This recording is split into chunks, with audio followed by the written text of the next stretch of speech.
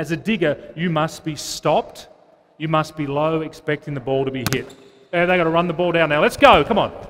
You've got to get after the ball. So that's just a way of randomising where the ball's going because you can hit either side of the fit ball or the top, and it absorbs a bit, gives them a chance to run the ball down.